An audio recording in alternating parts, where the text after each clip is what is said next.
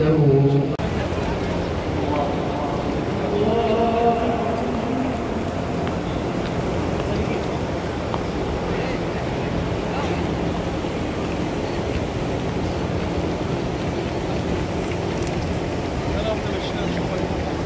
আসসালামু আলাইকুম রহমতুল্লাহ। আজকে সবচেয়ে আমার দেখা মাত্র আজকে প্রচুর জুমার নামাজে, প্রচুর হাজি হয়েছে।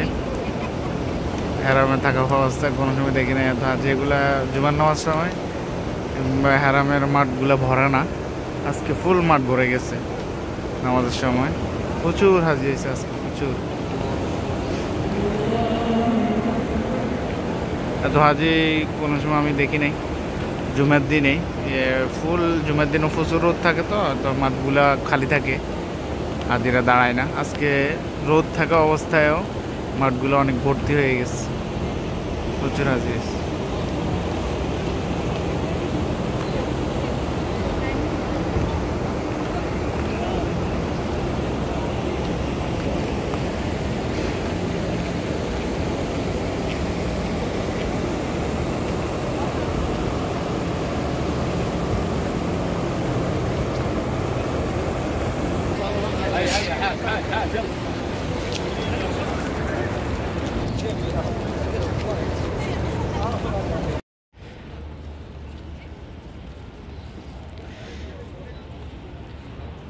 ভাই আসছে, বড় ভাই সামনে।